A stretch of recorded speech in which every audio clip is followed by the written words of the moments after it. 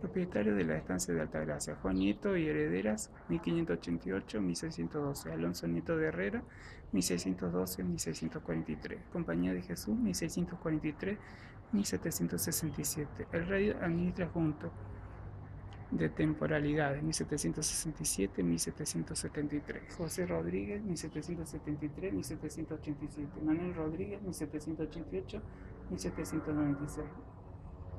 Vitorino Rodríguez y Antonio Arredondo, 1796-1810. Santiago de Liniers y Herederos, 1810-1820. José Manuel Solares, 1820-1868. Propietarios del casco de la estancia, herederos de Solares, familia Lozada y descendientes, 1868-1969. Nación Argentina desde 1969.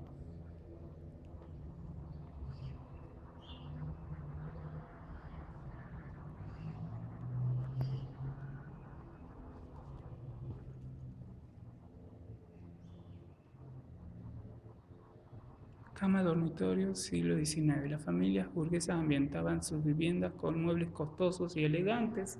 Las líneas sobrias de las camas de la primera mitad del siglo XIX dieron paso a un paulatino aumento del adorno y a la presencia de modulares y tallas. Las maderas preferidas eran las oscuras o bien teñidas de negro. La cama de este dormitorio, construida alrededor de 1850 y modificada en el siglo XX, responde a las llamadas camas de caja el nombre proviene de su forma cerrada, utilizando para ello paneles de madera y cortinados. Fueron de uso común en Europa septentrional, especialmente en el norte de Francia y Alemania.